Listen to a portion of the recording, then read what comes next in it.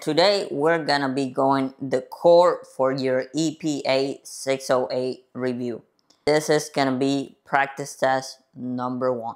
What does the ozone in the stratosphere above the earth consist of?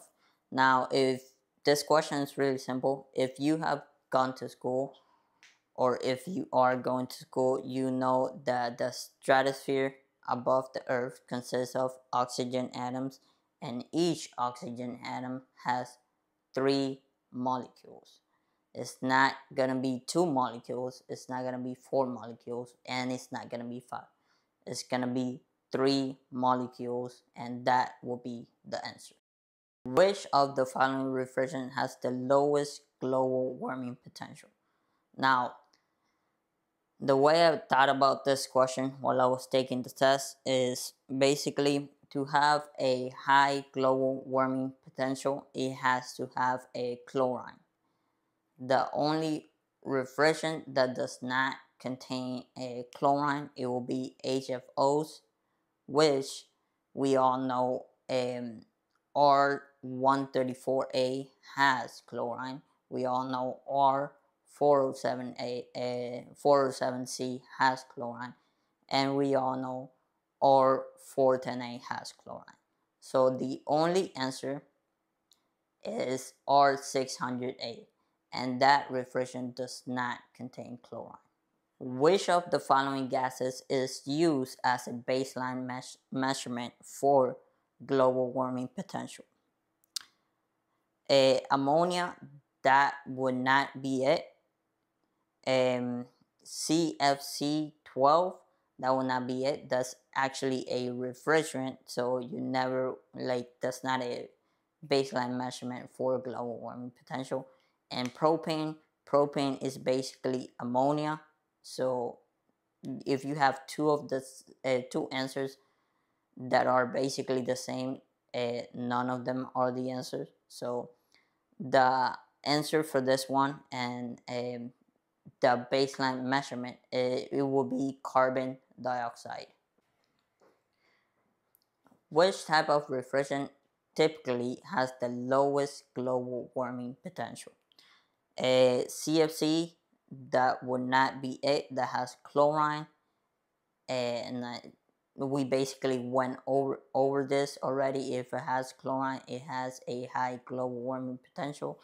Hfc it wouldn't be it either. They are all equal? No the the answer in here will be HFOs.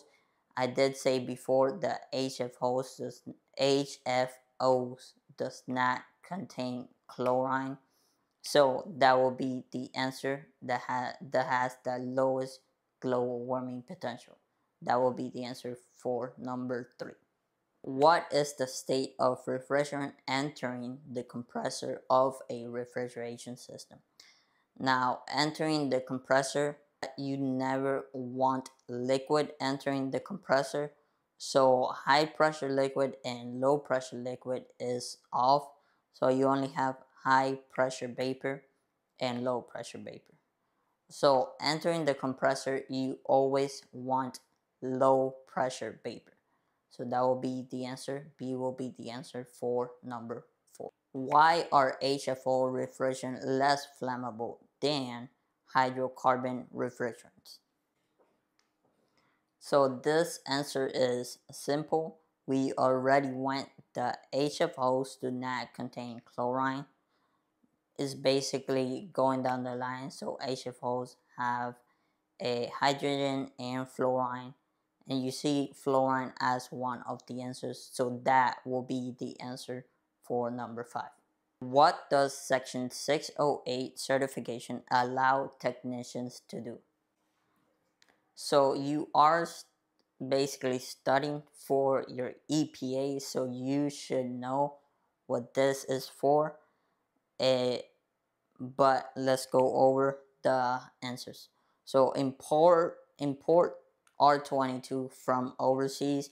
That is no, that's completely off service motor vehicle motor vehicles air conditioner no that is a different certification this does not cover a motor vehicles perform any type of work on any type of HVAC equipment. So for some higher level HVAC equipment, they will require you to have other stuff.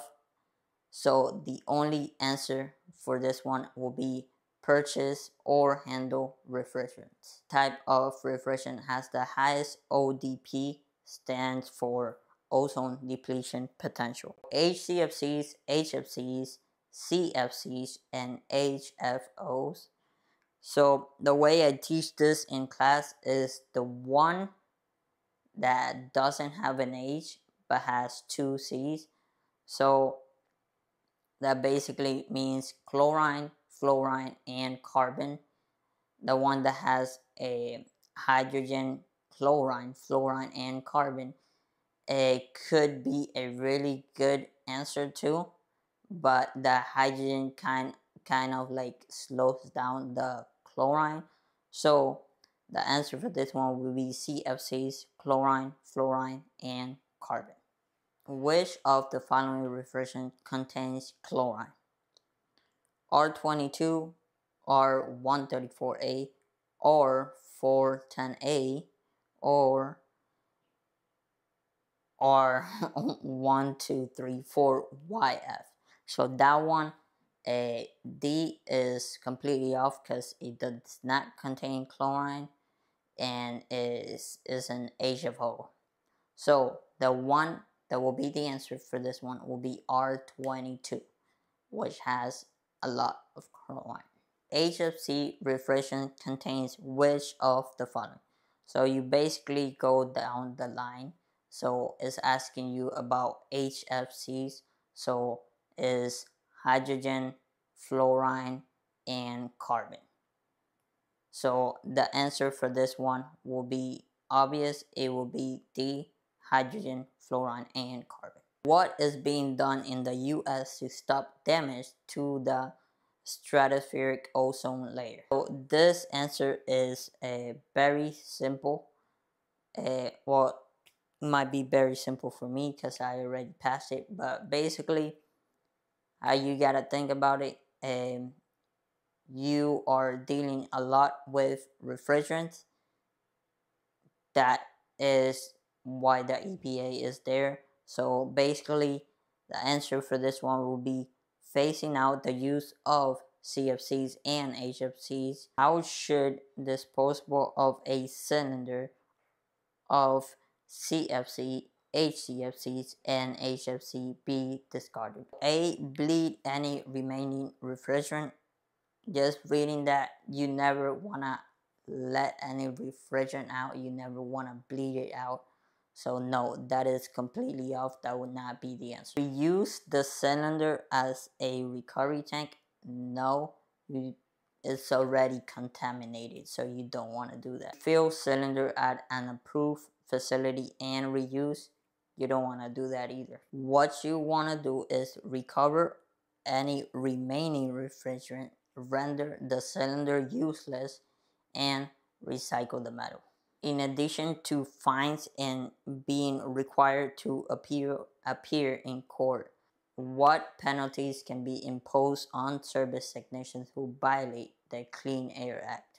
They may be required to take an online test. No. They may be required to take mandatory training. No. They may have equipment confiscated no, that does not make sense. Only answer that makes sense is that they may lose their certification. For an employee that uses CFC, HCFCs, and HFC refrigerant, which of the following violates the prohibition, prohibition on venting? So, A, as accidental release, just by reading that, it says accidental, so it is like you couldn't control it, is accidental so that would not be it refrigerant emitted when connecting or disconnecting low loss to charge or service a system that would not be it low loss is there for a reason and when you connect hoses you when you connect or disconnect hoses you might let out a little bit that is called the de minimis. For this one will be a, a refrigerant emitted when cutting a when cutting a line without properly evacuating the system. That is your fault because you did not evacuate the system properly.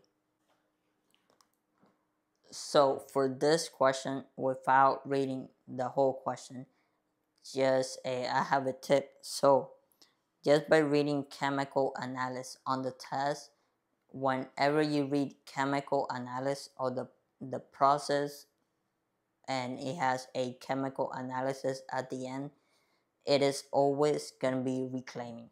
And that's a way of knowing something without reading the whole question, having to read the whole question to find out the right answer.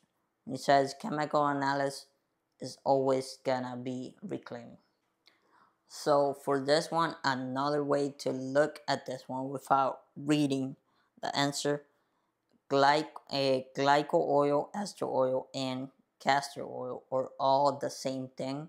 So for this one, you're not gonna have either one of those be the answer because they're all the same. So the only one that is the answer in here is A. Should refrigerant blends be charged? Now a an example of a refrigerant blend is R410A and you always wanna charge it as a liquid phase. So on this one is asking about your gauges. So I will put a picture up here of the gauges but this one is asking about the low side and I will tell you it is not going to be PSIA so A and D are not going to be the answer. Torrs and microns that will not be the answer either. The answer for this will be PSIG and inches of mercury. So another tip for this question will be it's asking you a process again and um, about refrigerant of course but uh, whenever this a process and is cleaning refrigerant or anything that has to do with cleaning so you just read the word cleaning when it's asking you about a process and the answer is always going to be recycle so without reading the whole question, you see the word cleaning, you know the answer will be recycle. Which factor does not affect the speed of recovery? Now for this one, standing vacuum test, now you will get a you will get different readings letting you know that you have a leak out of a but it will not be the most effective method.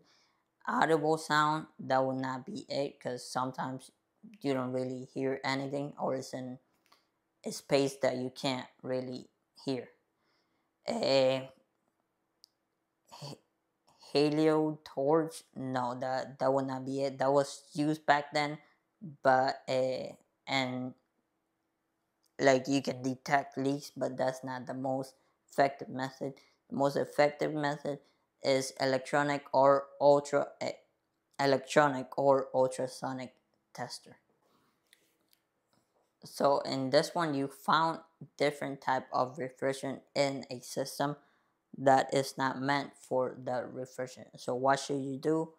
Bend the refrigerant? No, you never want to do that. That is against EPA.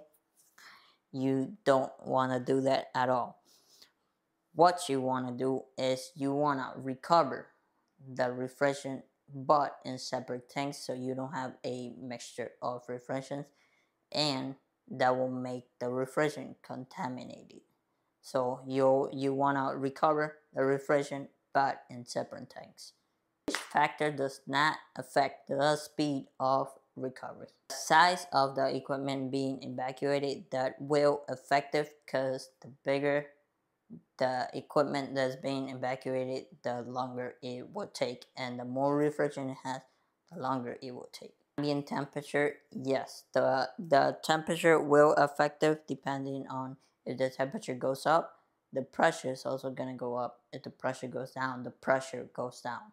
The amount of moisture in the system. That is the number one thing. If you have moisture in the system, every at the speed is gonna be affected tremendously. The brand of micron gauge used, no, that will not affect it because it's a brand. A you're gonna have a good micron gauge, uh, micron gauge, anyways. So uh, the brand does not affect it. So that a that's the answer. So this answer will be simple. Safety precautions.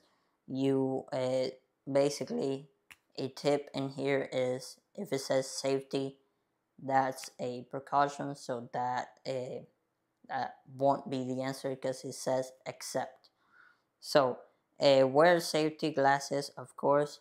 Wear protective goggles uh, i mean protective gloves of course. Uh, follow all safety precautions. Has the word safety of course. The only one that's uh, that shouldn't be done and the ones that's not the answer remain well the one that is the answer. Remain at least five feet away from the from the operating equipment? That will be the answer for number 23 refrigerant cylinders should be all of the following except uh, be free of be free of rust and damage. They do need to be free of rust and damage. Be secure. They do need to be secure. Be labeled, they also need to be labeled.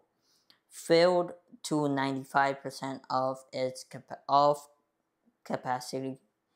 Uh, no, the capacity is 80%, so that will be the answer because it says accept. All the other ones are uh, that's what you should do.